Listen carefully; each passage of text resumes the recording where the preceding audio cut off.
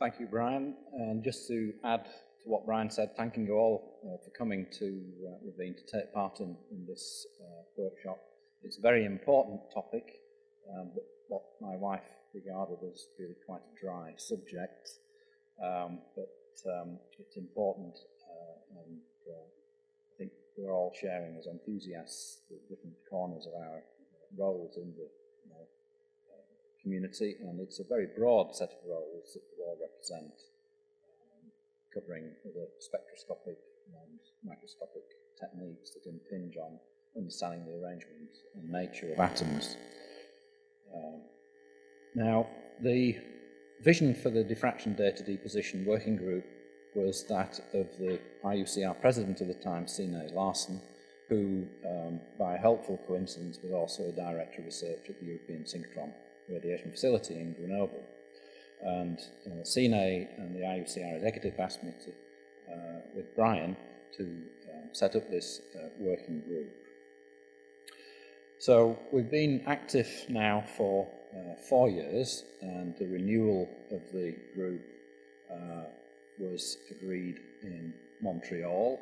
Um, and uh, Tom Terwilliger, who's here, was very much a mainstay of helping with the proposal for uh, what we would do uh, within the uh, current triennium.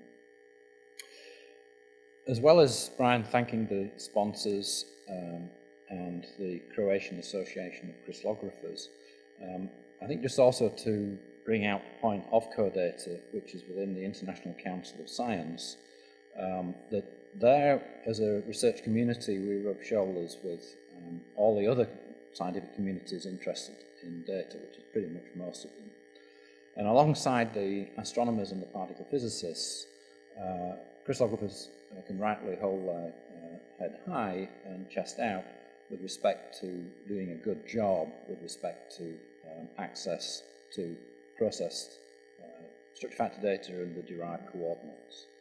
And it's a natural thing that we should then turn our attention to the very technically challenging uh, in terms of data storage, raw uh, data. Um, so the, the, wider context is very much uh, looking at what we do as one of the leaders in the world of scientific data. So, by way of uh, this short presentation, uh, to try and capture uh, the essence, um, and first of all, the philosophical view of the importance of access to raw diffraction data, namely to provide uh, the user and reader of research results, uh, the publication obviously, uh, and the database deposition, uh, but also to provide uh, the user with the chance to see through their own eyes uh, and not the lens of somebody else. And that, I think, is, is a point of philosophy that we would all um, respect and adhere to, adhere to. I will then give a, uh, within that headline, a brief recap of the first triennium, and um, actually I've chosen uh, as the simplest way of giving you the agreed statement and the approved by the uh, IUCR statement, the report that I made to the IUCR Montreal General Assembly, and that's where all the different adhering countries to IUCR are assembled, um, and so it was obviously an important presentation. I've mentioned already the challenge of the sheer volume of our raw diffraction data, and in the uh, generic terminology of big data, I think we can firmly say that we qualify for the sort of big data challenges that are highlighted for uh, a number of different fields, but also in, in the commercial and business area. The challenge of achieving uh, and satisfying the new user to raw data uh, to be able to appreciate in depth the raw diffraction data, the metadata uh, description is absolutely critical. Um, basically, can a new user successfully understand and process any raw data uh, that he, she wishes to analyze? And that, of course, is the, the core point um, of this uh, workshop. The raw data without the process structure factors and the coordinates as may well be the case, is then a distinctly different situation where you have no uh, chemical knowledge at that point. Now, of course, the reanalysis of coordinates and structure factors via the raw data, you are guided by the original researcher's view of the chemistry. Um, but where there might be situations of the raw data without the process structure factors and coordinates, the only knowledge of the uh, nature of the study will be the sample name. And therefore, I press upon you that the need to uh, provide sample name with raw data will be paramount. It's an obvious point, but it may not uh, be properly captured. And of course, within that, the naming and the IUPAC and IUBMB nomenclatures for chemistry and biology naming of compounds and samples will have to be respected. So, if we think about the uh, raw data pyramid, which is at top right. Uh, presumably this is the laser pointer. Um, here, this is a, a, logo, which I hope many of you will be familiar with, but the raw data, the process data, and the derived data. And the challenge of the volume is very much at the bottom of this pyramid, and it's easier with the size of files at the top. So the raw diffraction images um, offer a variety of opportunities, but they offer uh, this challenge of the storage. Now, our keynote opening speaker, Loes Kroon-Batenburg uh, from Utrecht in the Netherlands, will give uh, a more detailed version of this, so I won't dwell on it.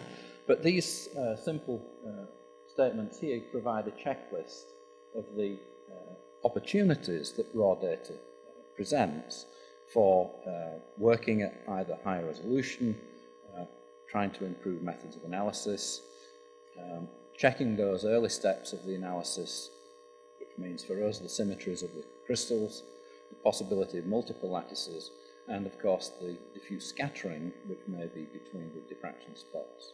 Um, the investigator whose focus would be on the Bragg diffraction, of course, may not have optimized the diffuse scattering conditions. And so uh, some alerting that the diffuse scattering here may be of interest and a more optimal remeasurement uh, might be appropriate uh, will be the sort of topics that Mike Wall, leader in diffuse scattering interpretation, who's with us here, uh, will no doubt go into.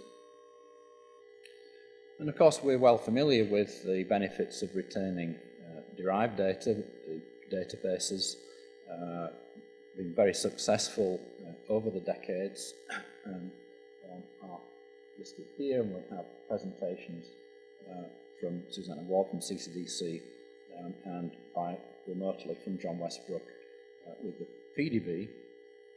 Um, but the, uh, the whole uh, suite of, of benefits uh, from this clarity of the scientific record um, are listed here. Um, and I think are well known uh, to you and, and will be stressed by Suzanna and John.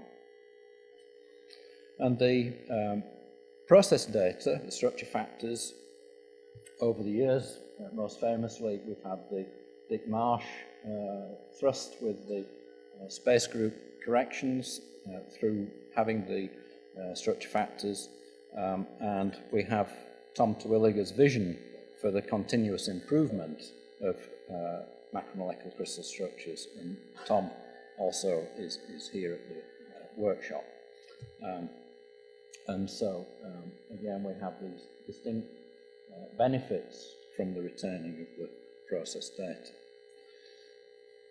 So these are more familiar to us, uh, the role of coordinates and structure factors, um, but there's still an ongoing evolution of how we might better uh, use um, the information that we, have preserved for a considerable time, in addition to the new opportunities that the raw data presents.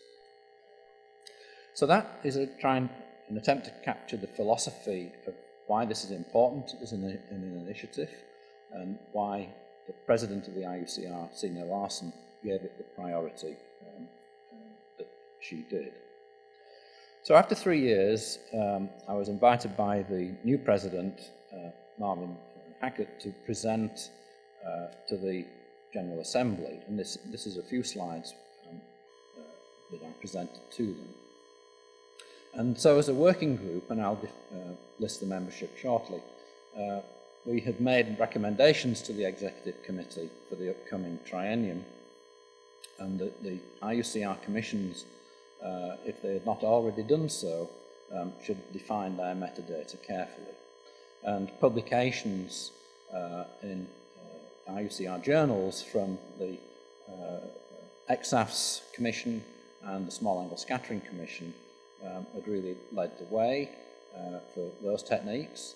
And uh, through the leadership of Loes Kroon-Batenburg uh, for single crystal work, um, we've made our own uh, particular research interests, recent research interests, uh, uh, and Loes is the corresponding author on a paper in Journal of Applied Crystallography on metadata for single crystal work.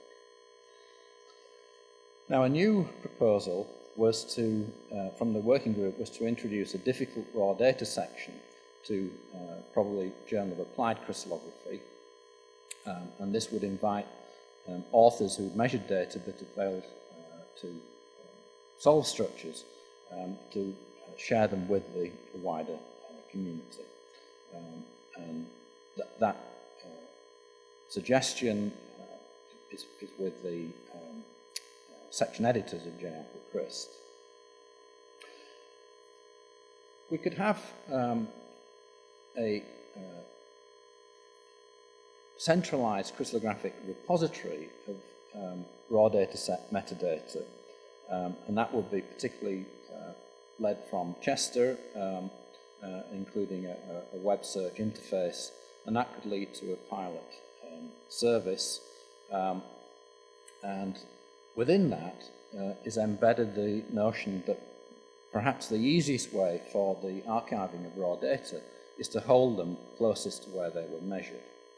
And so um, the chance for making available raw data either through the university library or the synchrotron or the neutron source um, where the uh, data were measured via a DOI uh, link to each data set um, could then make within the metadata registry um, at least a centralized and coordinated effort to define uh, raw data sets. So this is a modus operandi which is trying to be pragmatic without the immediate funding of uh, the centralized databases.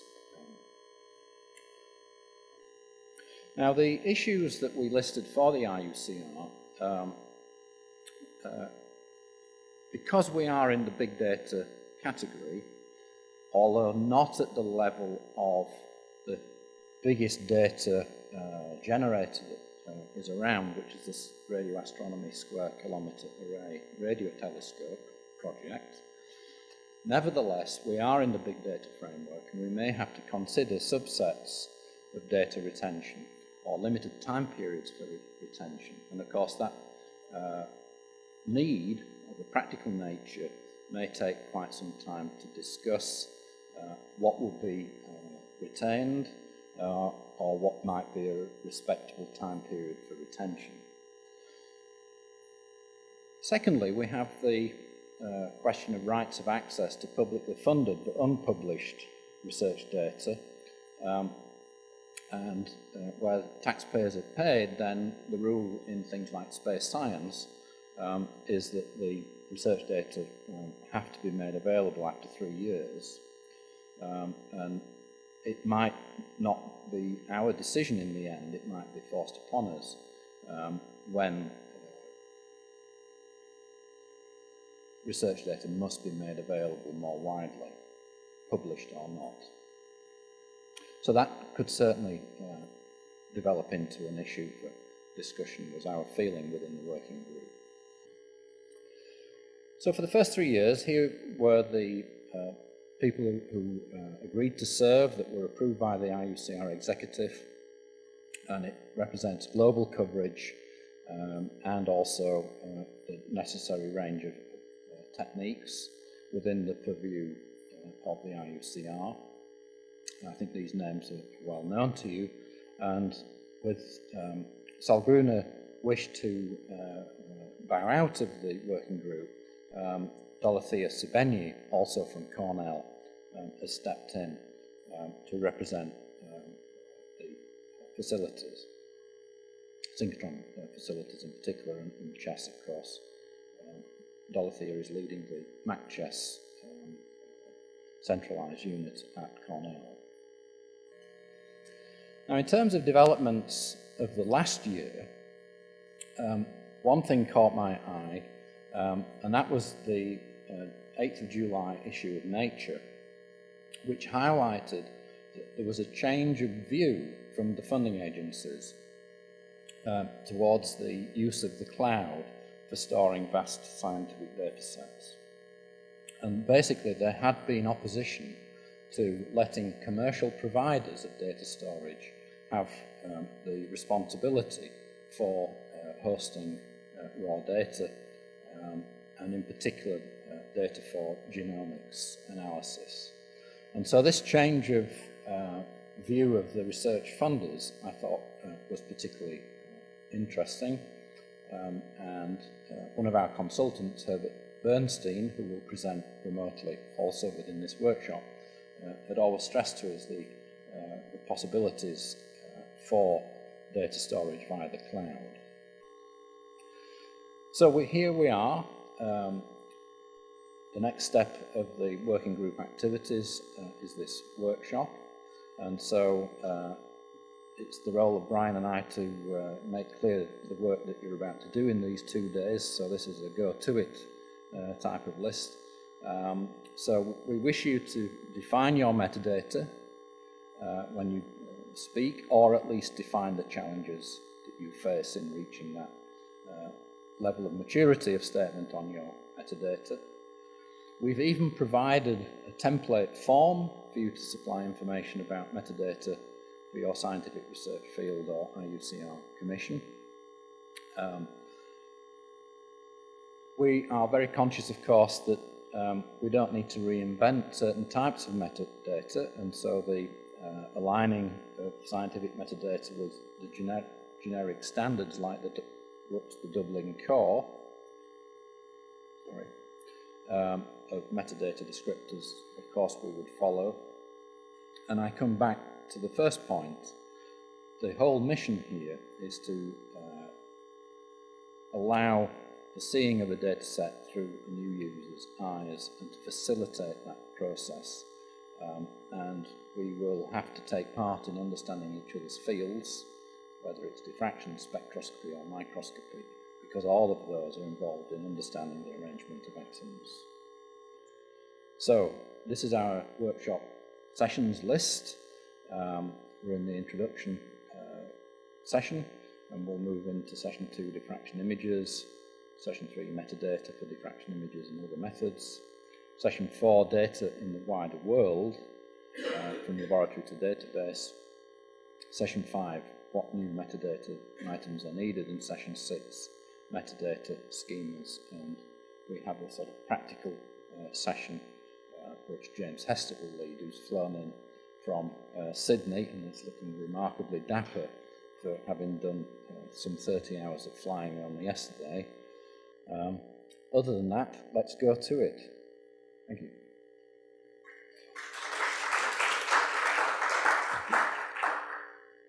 And we have a question from Tom Terwilliger.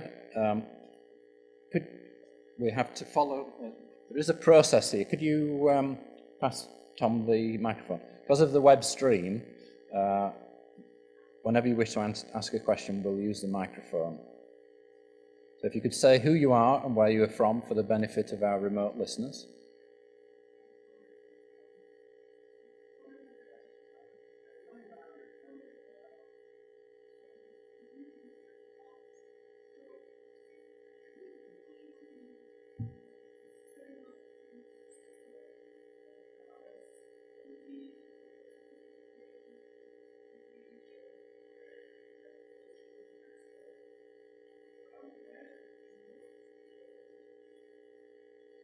Okay, so this is an excellent question. So the, the whole training and education aspect um, is a potentially looming elephant in the room.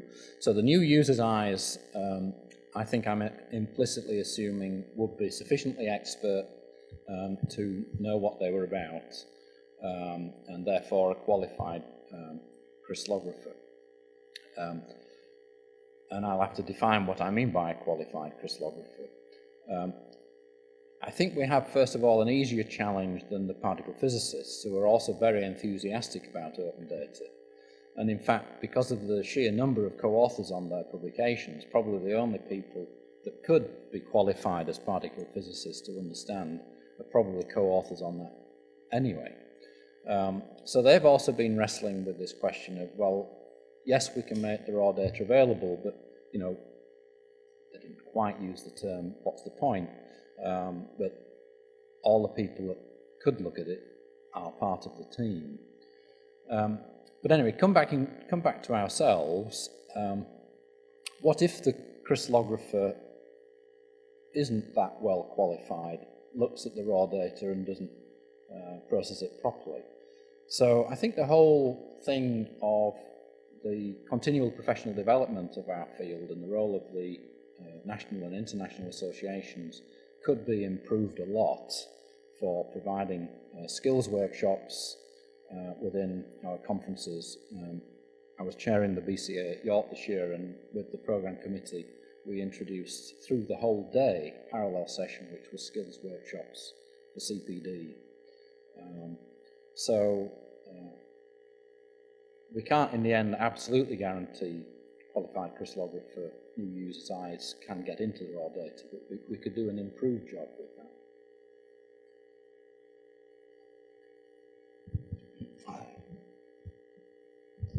John, you, you made a very important point about giving access to people to the data which people couldn't use at least for structural determination.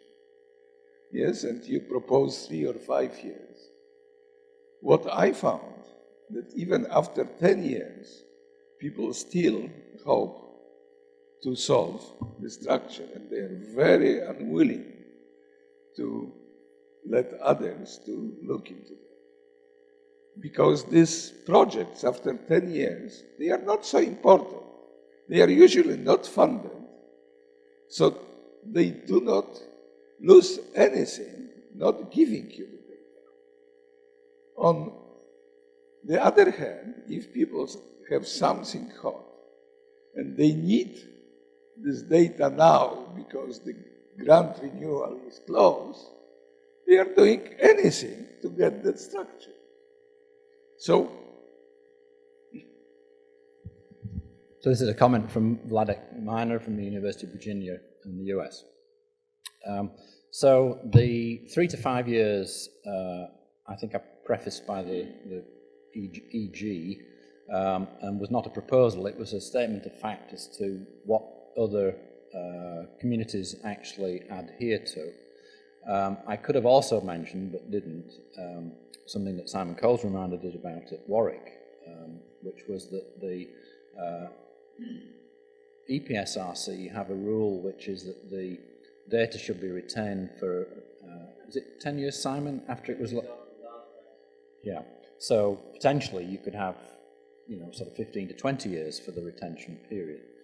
I think the point that we're wrestling with under that particular issue um, is uh, we might need to uh, triage the matter of what data we retain uh, it might not be possible to retain everything in perpetuity.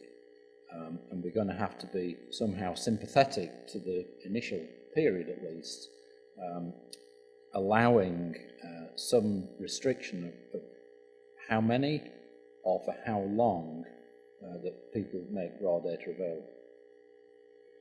But as a working group, we actually don't have a, a, a proposal other than to try and make um, available how people might make that raw data available, save the data near to where you measured it, get DOI uh, information assigned um, through the institution, um, and basically we are championing the benefits of, of retaining raw data. Um, so maybe the point that you're making is we should perhaps not be quite so sympathetic to the difficulties and just say, as a working group, it ought to be done. Tom Terwilliger again. So, as a practical matter, how have other communities dealt with the question of what data are worth or are important enough to make available? So just for example, in macromolecular crystallography, 99% of data sets are worthless. I exaggerate slightly. And, but basically, there are many data sets collected that are not worth looking at because they're collected badly. So surely we don't want to require people to make those available because they're not interesting. However, we would want any well-collected data to be permanently available to the world somehow, and that does seem like a great idea. So how do other communities deal with that question? So the biggest challenge is the square kilometre array, and they've decided that their data deluge is so great that they can't hope to retain raw data. And so they're only planning to retain processed data.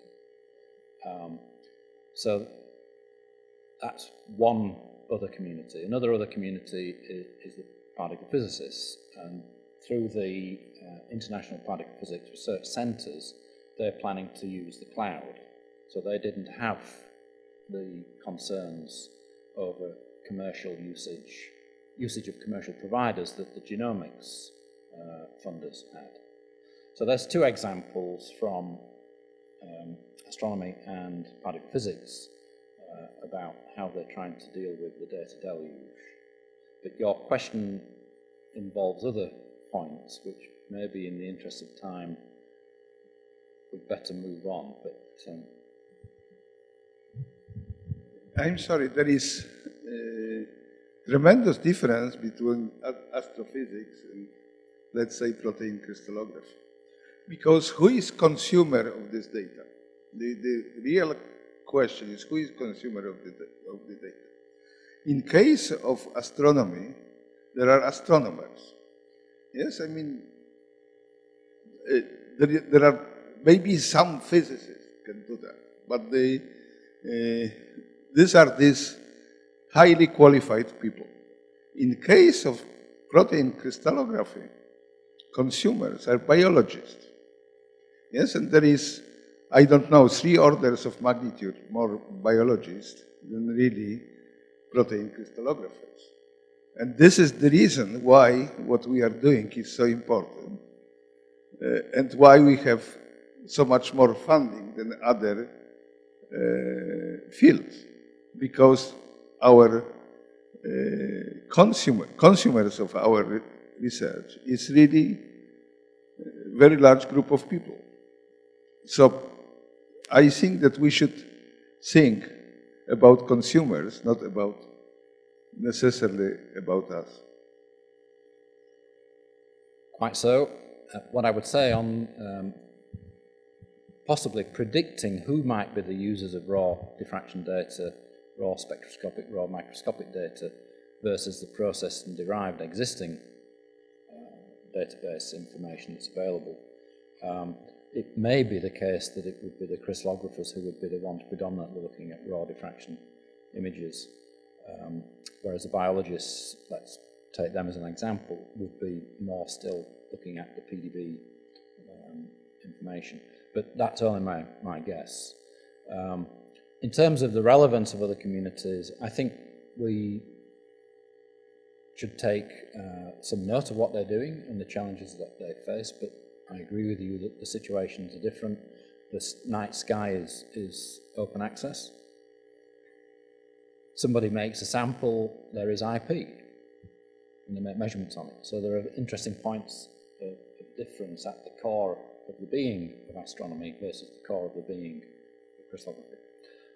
On those notes of philosophy, I propose that we move on, uh, otherwise we'll be so badly out of timetable for the, those outside the room.